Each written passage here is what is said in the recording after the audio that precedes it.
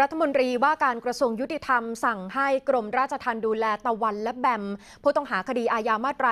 112 ที่อดอาหารประท้วง จนต้องเข้าโรงพยาบาลราชทัณฑ์นะคะ โดยรัฐมนตรีอธิบายว่าศาลให้ประกันตัวแล้ว แต่ว่าทั้งสองคนยื่นเงื่อนไข จะต้องปล่อยตัวผู้ต้องหาที่เกี่ยวข้องกับการเมืองทั้งหมดนะคะ จึงจะยอม วันนี้กลุ่มมวลชนที่มีแนวคิดเดียวกัน รวมตัวกันจัดกิจกรรมอีกครั้งค่ะ กิจกรรมยืนหยุดขังถูกจัดขึ้นที่ด้านหน้าหอศิลปะวัฒนธรรมแห่งกรุงเทพมหานคร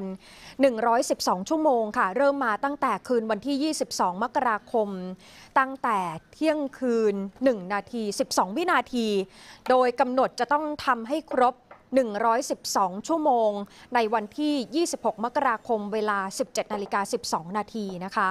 เป็นกิจกรรมที่เกิดขึ้นหลังจากนางสาวทานตะวันตัวตุลานนท์หรือตะวัน และนางสาวอรวรรณผู้พงษ์หรือแบม ผู้ต้องหาคดีอาญามาตรา 112 ยื่นคำร้องขอถอนประกันตัวเองต่อศาลเมื่อวันที่ 16 มกราคมที่ผ่านมา และต่อมาทั้งสองคนก็เริ่มอดอาหาร อดน้ำระหว่างถูกคุมขังอยู่ในเรือนจำโดยอ้างว่าไม่เห็นด้วยที่ศาลเพิกถอนประกันเพื่อนร่วมแนวคิด ในกลุ่มโมกหลวงริมน้ำค่ะ รัฐมนตรีว่าการกระทรวงยุติธรรมบอกว่าศาลพิจารณาให้ประกันตัวผู้ต้องหาทั้งสองคนไปแล้ว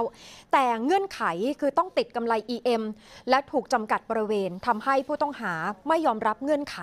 ขอถอนประกันตัวเอง ล่าสุดกำชับให้กรมราชทัณฑ์ดูแลอย่างใกล้ชิด เพื่อไม่ให้เกิดความผิดพลาดหลังจากประท้วง ด้วยการอดอาหารอดน้ำนะคะ